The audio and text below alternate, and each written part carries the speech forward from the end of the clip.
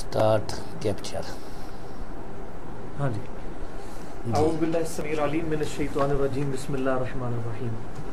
अच्छा सर सबसे इम्पोर्टेंट सवाल आपसे ये है कि हमारे जो दीन का माखज है जी। ये क्या है? क्योंकि कुछ लोग कहते हैं जी कुरान और सुन्नत और कुछ लोग कहते हैं जी कुरान और सुन्नत को सलफ के मनहज पर। और कुछ लोग ये कहते हैं कि जी हम इजमा को भी और क्यास शरी को भी मानते हैं। जो कुरान और हदीस के खिलाफ ना हो। इसके बारे में थोड़ा आप ज़रा ब्रीफ करें। अल्हम्दुलिल्लाह रब्बिल आलमीन वस्सलातु वस्सलामु अला रसूलिल अमीन। असल बात यह है कि दीन का बुनियादी जो माखज़ है वो कुरान और हदीस है। अल्लाह और रसूल की बात। ये वो दीन के बुनियादी माखज़ हैं जो कुरान से साबित हैं रसूलुल्लाह वसल्लम से साबित हैं और जिन पर उम्मत का इतफ़ाक़ है। अब कुरान और हदीस से कुरान से इशारतन और हदीस से सराहतन इजमा का हजत होना भी साबित है। रसूलुल्लाह सल्लल्लाहु अलैहि वसल्लम ने फरमाया कि अल्लाह मेरी उम्मत को गुमराही पर कभी जमा नहीं करेगा। इन अल्लाह ला यजमा उम्मती अला जलालत अबदा। तो इसका वाला क्या है? मुस्तदरक मुस्तदरक हाकिम में दूसरी किताबों में है। बारह मुस्तदरक की रवायत जो है उसकी सनद से एक और रवायत भी सही मिली है अलमोजमुल कबीर तबरानी में। ठीक है। अच्छा। तो इससे इजमा का हजत होना भी साबित हुआ। इजमा की हजियत सबा कराम से भी साबित है। सैद उमर रज़ी अल्लाह तु से इसी तरह उकबा बिन आमर रज़ी अल्लाह तबू मसूद अलबदरी रज़ी अल्लाह तो ये अब इजमा को हजत मानना असल में कुरान हदीस को मानना है। कुरान हदीस से इसका सबूत मिला ना। जो चीज़ कुरान और हदीस से मिल जाए तो उसको मानना तो सही है। तो ये तीन दलीलें जो ये असल दलीलें दीन की ये है वो बुनियादी दलीलें हैं जिनको हम मानते हैं और बाकी भी हनफी शाफी मालकी हमली। सर ये कैसे so, पता चलेगा किसी चीज़ पे इजमा हो गया हुआ है ये बाद में बताएँगे ना। हाँ। अच्छा अब इजमा की तफसीर वगैरह बाद में बताएँगे। दूसरी बात ये कि आपका सवाल था कि सलफ सालहीन के फार्म पर। हाँ।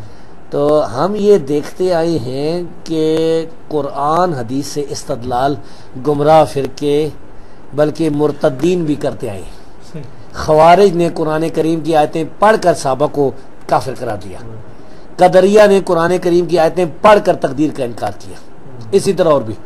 तो इन लोगों की रुकावट के लिए हमारे पास सिर्फ़ यही रास्ता है, जो कि रसूलुल्लाह वसल्लम के साहबा और ताबीन जिन्होंने जिनके रसूल वसल्लम के साहबा के सामने यानी दीन आया कुरान नाजिल हुआ रसूल वसल्लम मौजूद थे। तो उन्होंने आपको देखा कुरान पर अमल करते हुए दीन पर अमल करते हुए। उन्होंने जिस तरीके से समझाए साहबा ने ताबीन ने तब ताबीन ने उस तरीके को हम सलफ का फाम कहते हैं। अच्छा। अच्छा। इसकी दलील वो भी हो सकती है कि सैदना अली रज़ी अल्लाह तु ने एक दफ़ा फरमाया था कि रसूलुल्लाह सल्लल्लाहु अलैहि वसल्लम हमें कोई ख़ास चीज़ नहीं देगी हाँ बुखारी की जो रवायत हाँ। यानी जो। एक कुरान छोड़े किताबुल्ला और फिर उन्होंने फरमाया कि ये सहीफ़ा जो उनके पास था जिसमें कुछ बातें लिखी हुई थी। और फरमाया इल्ला फ़ाहमुल कुरान। यानी यानी कुरान का फार्म जो है ना हमारे पास है। या यानी जिस तरह को आदमी को कुरान का फाम अता किया जाता है। तो कुरान का फाम साहबा के पास था। इसी तरह सुना नबी दाऊद के अंदर किताब सुन्ना के अंदर ऐसी रवायात मौजूद हैं। जिनमें अमर बिन अब्दुल अज़ीज़ रहीम ने कहा था कि ये जो तुम कुरान की आयतें पढ़ के तकदीर का इनकार करते हो ना यही आयात अगले उलमा पढ़ के थे तकदीर का इस बात करते थे। हाँ तो तुमने किधर से तो इस वजह से हम कहते हैं कि सलफ का जो फार्म है उस फार्म पर अगर हम अमल करेंगे तो उस तरह का तरीके से दीन पर अमल होगा जिस तरीके से रसूल वसलम ने अमल किया अगर उसको हम छोड़ेंगे तो एक मिर्जाई है कुरान की आयतें पढ़ के वो मसन अल्लाह यस्तफ़ी मिनलमलाइकत रसुल मिनन्नास कुरान की आयत पढ़ के वो कहे कि रसूलों का सिलसिला जारी है अब रसूल आते रहेंगे। हम्म, हाँ? तो ये ये बुनियादी बात है। अच्छा अब आ गई पांचवी बात। वो ये कि इजतहाद या क्यास। तो हम कहते हैं कि भाई इजतहाद करना चाहिए। इजतहाद एक मसले में अगर कुरान हदीस हमारे पास मौजूद नहीं या इजमा का हमें इलम नहीं है तो उस मसले में हमारे लिए इजतहाद का करना जायज़ है। अगर कोई नहीं करता तो उसकी मर्ज़ी है।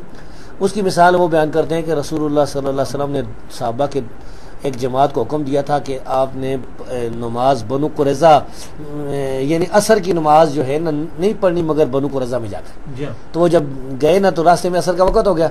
एक ग्रोह ने इश्तिहाद किया उन्होंने कहा कि ये आपका मकसद ये था कि जल्दी जाना चाहिए। तो उन्होंने रास्ते में नमाज़ पढ़ ली।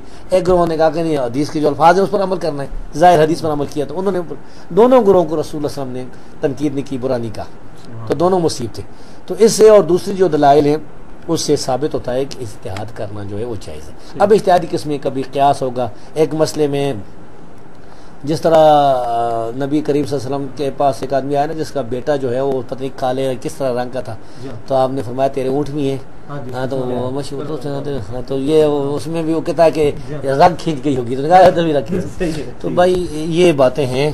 हाँ। जी। सर इजमा कैसे साबित हुआ कि किसी हाँ, मामले में इजमा हो गया हुआ है? इजमा के दो तरीके। अच्छा। एक तो जो उलमा हक है उलमा सुन्नत है किताब सुन्नत के जो माहिर हैं उन्होंने अगर सरात की किस मसले में इजमा है? तो एक तो तरीका ये दस हम इजमा देंगे। इस पर उलमा कराम ने किताबें लिखी। मसलन इमाम मोहम्मद बिन इब्राहिम इबन मुंजर अलनसाबूरी आज से तकरीबन 900 साल पहले गुजरे। नौ सौ नहीं बल्कि एक हज़ार साल से पहले हज़ार साल से पहले ग्यारह सौ साल समझ ग्यारह सौ साल पहले वो गुजरे हैं यानी चौथी सदी दी के शुरू में आखिर से पहले थे। उन्होंने किताबुल इजमा लिखी है जो हमारे पास मौजूद है अरबी में भी छपी हुई है उर्दू में भी तर्जमा हो गया उसका कराची से। अच्छा। हाँ वो आपको ज़रूर खरीदी जाएगी बहुत अच्छी किताब है। और उस पर इतफाक भी है। इस तरह इबन तेमिया ने किताब इजमा लिखी है इबन हजम ने किताब इजमा लिखी है अच्छा। एक दो तरीका यहाँ से मिल जाता है। दूसरा तरीका यह है कि जो किताबें हैं ना हमारी हदीस की और दूसरी इनमें इजमा का मिल जाता है। मसला कहते हैं इस मसले पर इजमा है। हम्म। दो तरीके हो गए। तीसरा तरीका यह है कि किसी मसले में आप कराम की जो आरा हैं, उनकी तहकीक़ात इकट्ठी करें ना। जब उसके मुकाबले में कुछ भी ना मिले तो आप ये दावा कर सकते हैं कि ये इजमा है। सर, इजमा में अहले इल्म का इजमा होना ज़रूरी है या मोतजिला तो हमेशा हर मामले में इख्तलाफ करते आए हैं। हाँ, हक का होना ज़रूरी है। अगर मोतजिला खवारिज जितने अहले बेदत हैं उन्होंने इख्तलाफ किया तो उनकी कोई हैसियत नहीं कोई हैसियत उनकी कुछ अच्छा इजमा सिर्फ़ सहाबा तक है या बाद में क्यामत तक जारी है? क्यामत तक जारी है। क्यामत तक जारी जब जिस तरह की अभी इजमा हुआ है मिर्जाइयों के काफिर होने पर कादियानियों के काफिर होने पर पाकिस्तान में जो हुआ था ना। इस पर उम्मत का इजमा है। लेकिन सर ये तो नस है ना। नहीं नस तो ये है कि ख़त्म नबूत नस है ना। हाँ लेकिन जो तखसीस है ना कि कादयानी फिरका जो है ये अमदी कादियानी ये काफिर है। अच्छा। हाँ ये तो इजमा भी हुआ है। अच्छा सर इस तरह का इजमा, इजमा दो किस्म के हो सकते हैं। एक नस पर भी इजमा होता है वाजी नस पर। अच्छा। ये नहीं मिसल ख़त्म नबूत वाली। और एक जो है वो उस पर भी होता है कि नस मौजूद नहीं है।